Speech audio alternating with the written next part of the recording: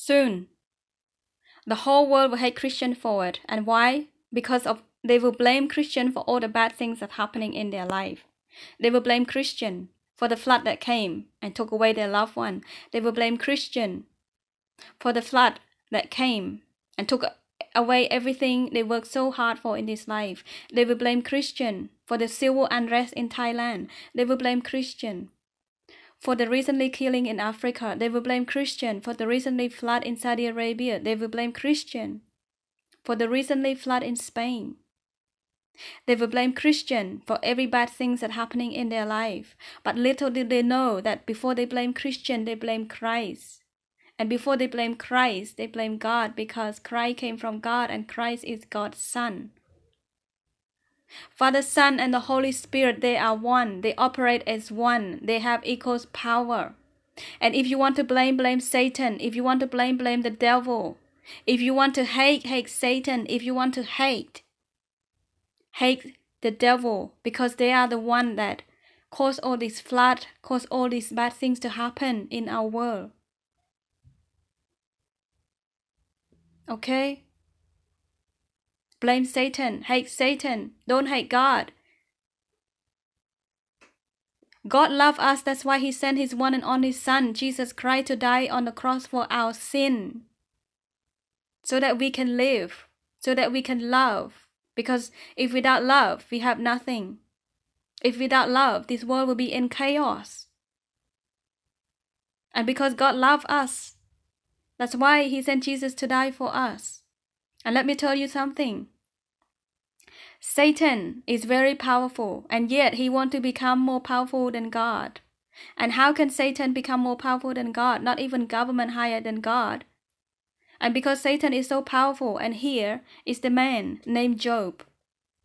Satan won to challenge Satan challenged God to destroy everything Job had.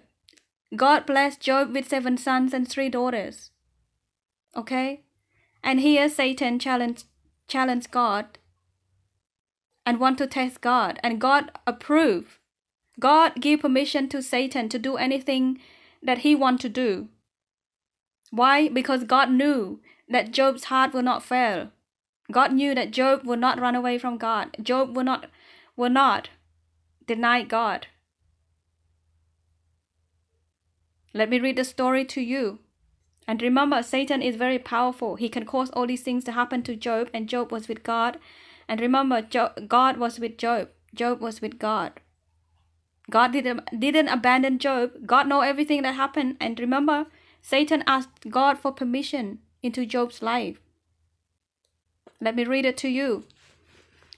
Job chapter 1, verse 6 to 22.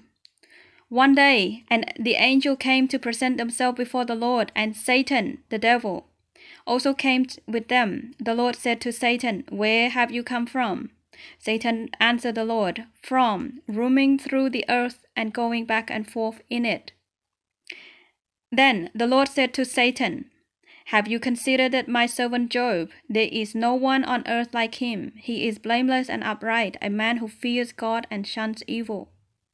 And then verse 9. Does, does Job fear God for nothing? Satan replied, Have you put a hinge around him and his household and everything he has? You have blessed the work of his hand so that his flocks and herds are spread throughout the land. Okay, and, and verse 11 Satan said, Satan challenged God. He said, but stretch out your hand and strike everything he has, and he will surely curse you to your face. And what did God say? Verse 12. God said, The Lord said to Satan, Very well then. Everything he has is in your hand, but on the man himself do not lay a finger. So God gives Satan permission to do what he please. Okay? Then Satan went out from the from the presence of the Lord. Then verse 13. Now Satan is at work. He found the opportunity to do what he pleased. In verse 13. One day when Job's sons and daughters were feasting and drinking wine, at the brother's house, at the oldest brother's house, a messenger came to Job and said, The oxen were plowing and the donkeys were grazing nearby, and the Sabeans attacked and carried them off. They put the servants to the sword, and I am the only one who, who escaped to tell you. While he was still speaking, another messenger came and said, The fire of God fell from the sky and burned up the sheep and the servants, and I am the only one who escaped to tell you. While he was still speaking, another messenger came and said, The Chaldeans formed three raiding parties and swept down on your camels and carried them off. They put the servants to the sword, and I am the only one who escaped to tell you.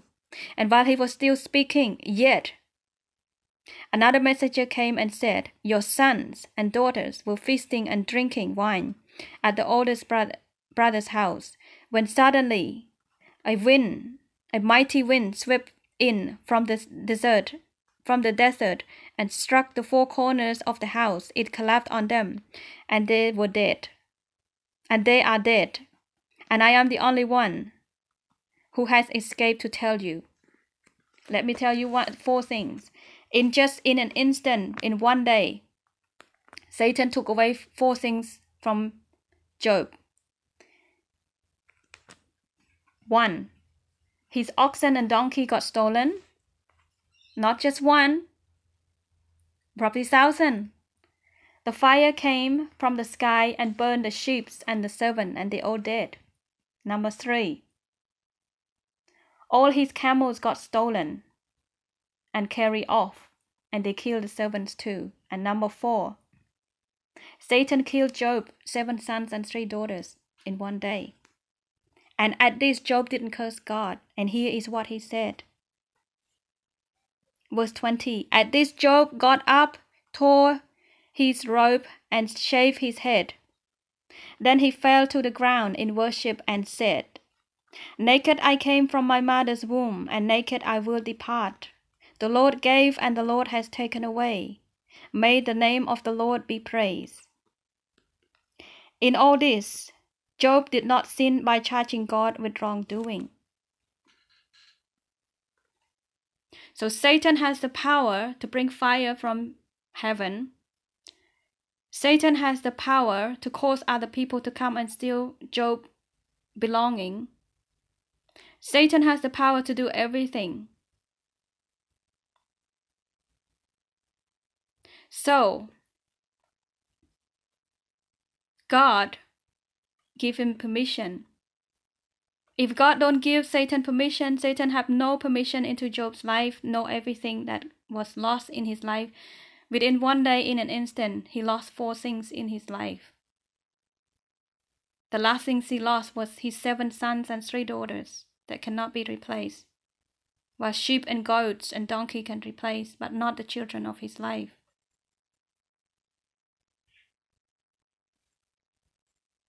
And so I leave you all to think about it. Thank you for watching. God bless.